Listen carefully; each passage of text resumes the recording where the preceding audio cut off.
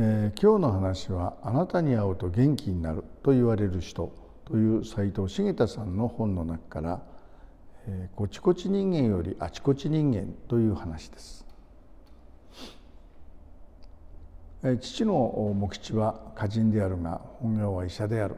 父の短歌をかつて趣味と言って劣化のごとく怒られたことがあったが今ではいい思い出だ。さて私もこのような雑文を書いているが本業は医者である。ものを書くというのはボケ防止に記憶力も良くなる。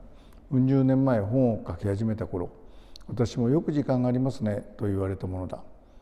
医者は医者の仕事に専念していればいいと先輩に言われたこともある当時はこの道一筋とばかり脇目も振らず仕事をする人が立派だという風潮があった。これもだいぶ変わってきたようだがこの道一筋を引きずっている人は今なお多い。このような人は定年退職した後が悲惨だ。暇な時間は有り余るほどできるが何をしていいか分からずに一日をぼんやりと過ごす。医者の仕事に専念しろと忠告してくれた先輩もありがたいがもう少し温かい目で見守ってくれた先輩も思い出す。この本面白かったよ、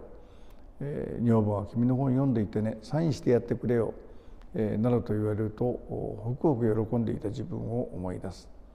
そういう先輩たちは仕事人としての私だけでなく仕事をし本も書き遊びも好きというありのままの私を受け入れてくれていた。その理由はどこから来ていたのか。その話は単純でそういう先輩たち自身がですね盆栽ダンス釣り俳句絵画とそれぞれのこだわりの趣味を持っていたんですね。時間は作るものである。仕事に忙しい人ほど真剣になって自分の時間を作って趣味に夢中になれるものであるということなんですね。で趣味というのは仕事に関係ない人と出会えるからいいわけです。で私の知人で出入りしている植木屋から家で盆栽教室を始めますからよかったらどうぞと言われて行ってみたらどうせじいさんばかりだろうと思って行ったのに教室は30代の男性や主婦高校生までいてのびのびと明るい雰囲気だった。